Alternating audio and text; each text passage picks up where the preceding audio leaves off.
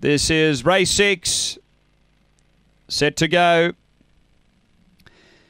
Away, speed Kumbayana D. It's going to drive and lead early. Springvale Hope moves up and deeper out. Kung Fu Mary and Aston Hinkley. Kung Fu Mary takes over, getting to fifth. Blacksland. Next, Eckel Feckin. Three to Tarkia. And then Port Boy, but up to the turn. Kung Fu Mary has two to spare on Aston Hinkley. Four away. Blacksland in the straight. Kung Fu Mary in front. Aston Hinkley sticks on, but Kung Fu Mary beats Aston Hinkley. Third, Blacksland. Uh, then Springvale Hope, and behind those next, Port Boy. Uh, then Tarkia, Eckel Feckin and Kumbayana D back at the tail.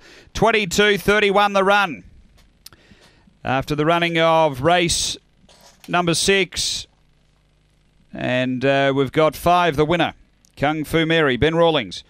A Black Bitch, November 2014. Nolan Hilltop Snow, number five.